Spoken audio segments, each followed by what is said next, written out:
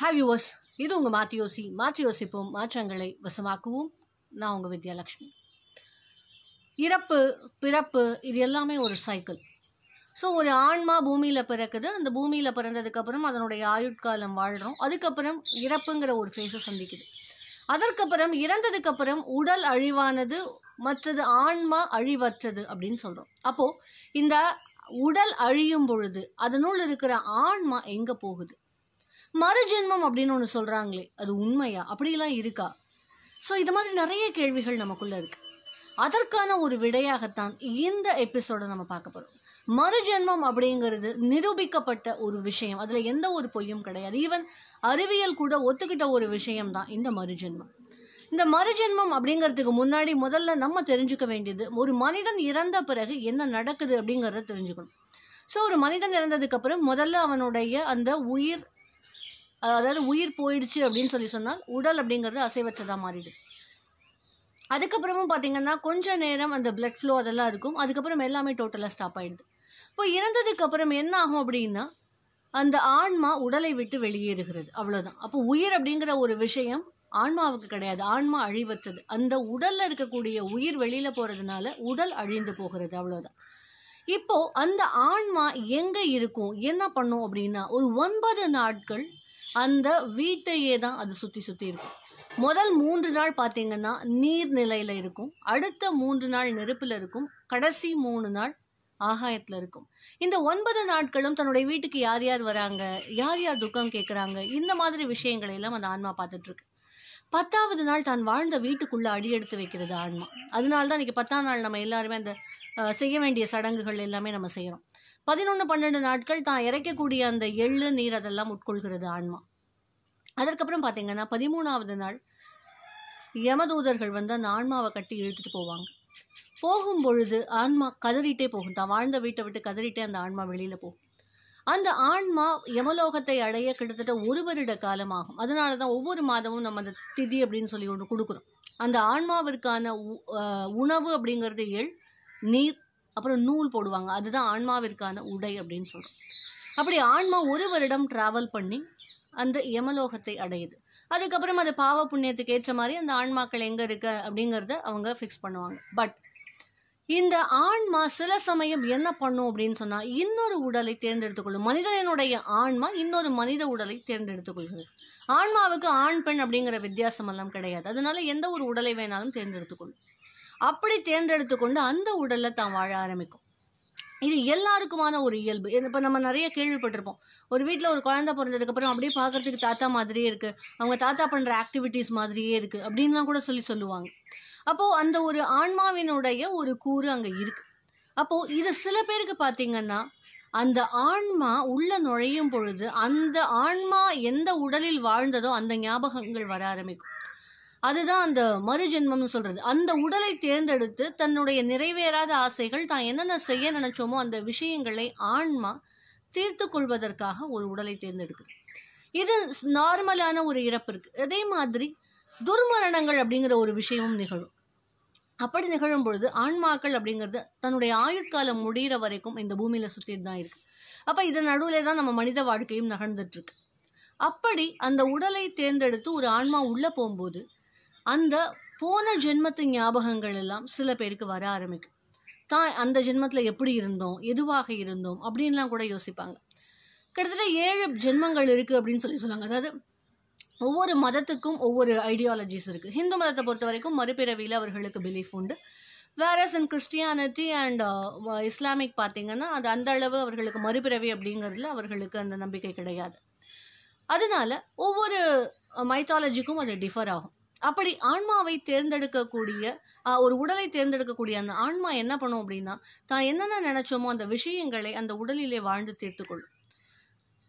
இப்படி நான் சொல்கிறேன் இதெல்லாம் உண்மையாக இதுக்கு ஏதாவது உங்களால் ஆதாரம் கொடுக்க முடியுமா அப்படின்னு கேட்டால் நிறைய ஆதாரங்கள் இருக்குது அதில் ஒரு இன்ட்ரெஸ்டிங்கான ஒரு கேஸை தான் இப்போ நான் உங்களோட டிஸ்கஸ் பண்ண போகிறேன் ஜான் மெனல் அப்படின்னு ஒரு செக்யூரிட்டி ஆஃபீஸர் அவருக்கு தன்னுடைய மகள்னா ரொம்ப பிடிக்கும்.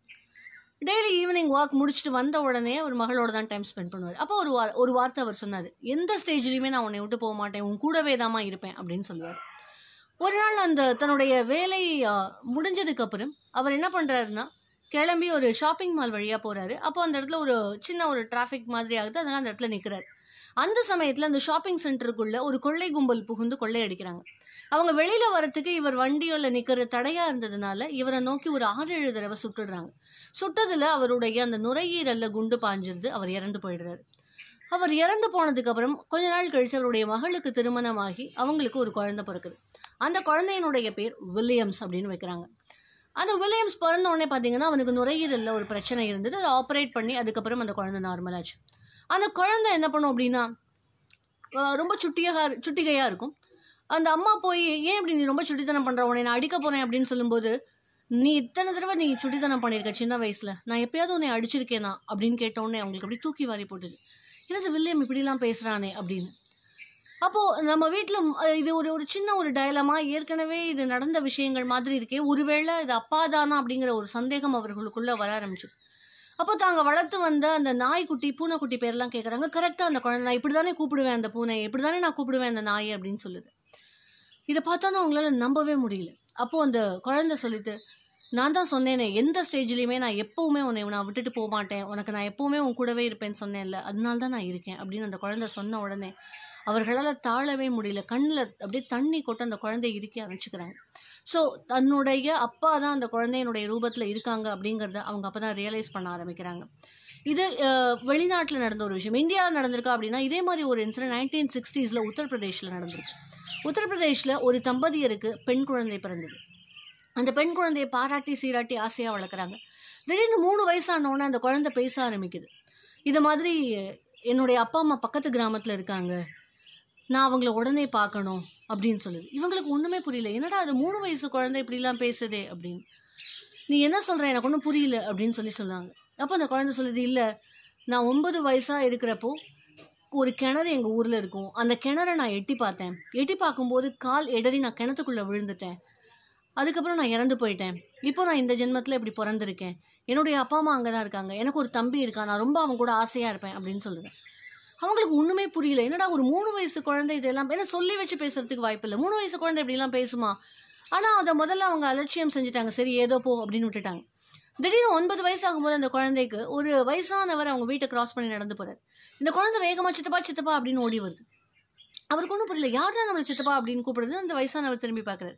அப்போ இந்த குழந்தையினுடைய அப்பா அம்மா போய் இல்லை இல்லை நீங்கள் தப்பாக நினச்சிக்காதீங்க. என் குழந்தை ஏதோ மாற்றி கூப்பிட்டுட்டா அப்படின்னு உடனே ஆனாலும் அவருக்கு ஒரு சந்தேகம். எப்படி சித்தப்பான்னு இந்த பொண்ணு கரெக்டாக நம்மளை கூப்பிடுது? ஏன் அந்த உறவை சொல்லி கூப்பிடுதுன்னு அந்த குழந்தைகிட்ட கேட்கும்போது அந்த குழந்தை சொல்லுது நீங்கள் தானே எங்கள் அப்பாவோட தம்பி. எனக்கு நல்லா ஞாபகம் இருக்குது நம்ம அங்கே தானே இருந்தோன்னு அந்த வாழ்ந்த இடம் எல்லாத்தையும் சொல்ல ஆரம்பித்ததுக்கப்புறம் தான் எல்லாமே உண்மை அப்படிங்கிற விஷயம் அந்த குழந்தையினுடைய அப்பா அம்மாவுக்கு புரிஞ்சுது. அந்த குழந்தையும் அவங்க அப்பா அம்மாவையும் கூட்டிட்டு அவங்க சித்தப்பா அந்த ஊருக்கு போறாரு. தான் வாழ்ந்த இடம் தான் விழுந்த கிணறு இப்படி எல்லா விஷயங்களையும் அந்த குழந்தை சொல்லுது. அப்பதான் அவர்களுக்கு புரியுது நிச்சயமாக அந்த குழந்தையினுடைய மறுஜென்மம் அப்படிங்கறத அவங்க அப்பதான் ஒத்துக்கிட்டாங்க.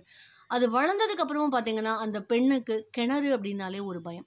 இப்படி நிறைய பேருக்கு அந்த மறுஜென்மத்தினுடைய அந்த ஞாபகங்கள் இருந்துட்டே இருக்கும். பெரும்பாலான பேர் அதை மறந்துடுவாங்க பட் ஒரு ரேரஸ்ட் ரேர் கேசஸில் பார்த்தீங்கன்னா நிச்சயமாக நம்ம பிரெயினில் அந்த விஷயம் எங்கோ ஸ்டோர் ஆகி நிறைய பேருக்கு அது ஞாபகம் இருக் இருக்கக்கூடிய வாய்ப்பு கூட இருக்குது பட் சில பேர் அதை மறந்துட்டு நம்ம அடுத்ததில் கேரி ஆன் பண்ணி வந்துடுறோம். பட் ஒரு சில பேர் அதை யோசிச்சு அது என்னங்கிறத அப்படியே ரீகால் பண்ணிக்கக்கூடிய கெப்பாசிட்டியோடு இருக்கிறவங்க அதை அப்படியே ரீகால் பண்ணிக்கிறாங்க. வாட் எவர் இட் இஸ் இது வந்து கதை அப்படி இப்படி அப்படிங்கிறதுலாம் கிடையாதுங்க. உண்மையிலேயே மறுஜென்மம் அப்படிங்கிற ஒரு விஷயம் இருக்குது பல வகையான நரகங்கள் இருக்குன்னு கூட சொல்கிறாங்க கருட புராணத்தில். அப்படி ஆன்மா இங்கே ஒரு உடலை தேர்ந்தெடுக்கிறது மனித உடலுக்கு மட்டுமே அழிவு அப்படிங்கிற கான்செப்டை ஈவன் சயின்ஸ் கூட ஒத்துக்குது அப்படிங்கிறதுனால இந்த மறுஜென்ம கான்செப்ட் எந்த ஒரு கதையும் இல்லை. நிஜம்தான். தேங்க்யூ